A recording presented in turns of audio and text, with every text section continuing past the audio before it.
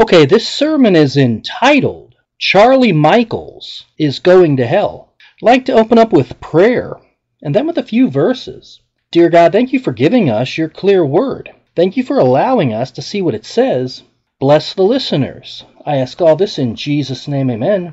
Psalm 129 reads Many a time have they afflicted me from my youth. May Israel now say, Many a time have they afflicted me from my youth, yet they have not prevailed against me. The plowers plowed upon my back, they made long their furrows. Now, I wasn't really aware of who this guy was, this Charlie Michaels, false prophet, but I got a request to expose this unsaved devil, and I went to his channel, and what I found was a bunch of junk, a bunch of stupid, meaningless videos.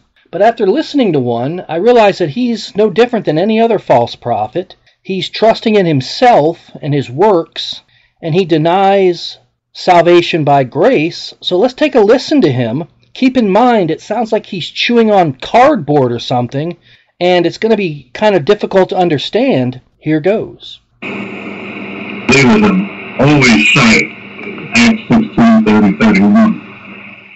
Uh, sorry, folks, but the context there, uh, the Philippian jailer was not asking do to be saved from hell.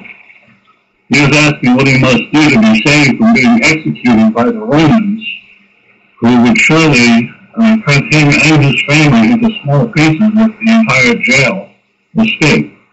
So, Now, what he's saying is that the Philippian jailer was not asking Paul and Silas how to be saved from hell.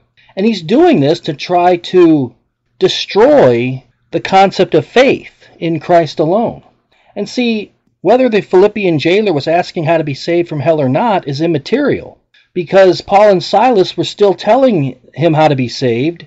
That would be necessary if he were executed by the Romans for allowing the prisoners to escape, and their answer was, Believe on the Lord Jesus Christ, and thou shalt be saved. Now, my question is, why is this unsaved devil singling out one verse in Acts when we have a plethora of scriptures in John that simply tell us to believe on Christ?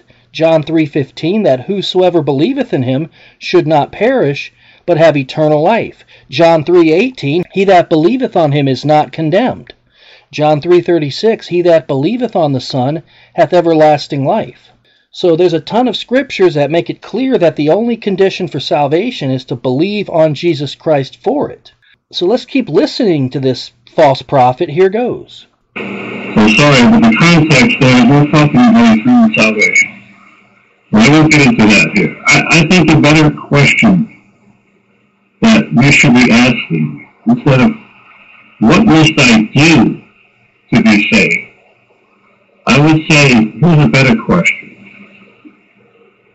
Who must I be to be saved? What sort of person must I be to be saved? Who am I that you should think that I am a Christian? Well, the only type of person you have to be to be saved is a sinner, and this question reveals that he believes that salvation is based on how a person lives. And according to him, you have to be a good person in order to be saved.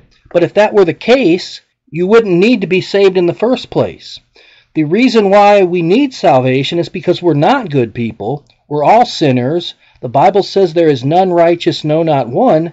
And that's why faith in Christ is the only condition, because it's the only thing we can do, is to simply believe on Jesus Christ for everlasting life. So this right here proves that he's unsaved. He's trusting in himself and his works and what type of person he is instead of trusting in the finished redemptive work of Jesus Christ and what he did. So let's take a listen to one more clip. Here goes. You need to examine yourself and ask, are you truly a new creation? Since you believe, since you said your sinner's prayer or went down the uh, aisle to the altar and were prayed over and accepted Christ as the Savior, are you truly a new creation? So instead of looking to Christ, once again, he's looking to self. He wants you to examine yourself to see what type of person you are when that has nothing to do with salvation because when Jesus Christ died on the cross 2,000 years ago, nobody today was even born. So, what difference does it make of what type of person they are now when salvation was offered before we even existed? And it was by grace then, it's by grace now. It's always been by grace, it always will be. But see, unsaved false prophets like this devil won't accept grace. They don't want it to be by grace, they want it to be by works. And that's why Charlie Michaels is going straight to hell. Because it's not going to fly. When he stands before God at the great white throne judgment, he's going to be judged based on his works, and they won't be good enough. And that's why he'll be cast into hell. Because nobody is good enough. If we could be good enough, then why did Jesus die? And that's one question these stupid unsaved work salvation devils won't answer because they can't answer. And all they're basically doing is just spitting in Jesus' face, saying, I'm going to get to heaven on my own. I don't need the cross. I don't need grace. I don't need a blood sacrifice and a substitute. I'm good to go and I can save myself. When that's not the case at all. So watch out for this stupid devil, this stupid liar, who's going straight to hell when he dies. That's all I have. Let me go ahead and close in prayer. Dear God, thank you for giving us your clear word. Thank you for allowing us to see what it says. Bless the listeners. I ask all this in Jesus' name. Amen.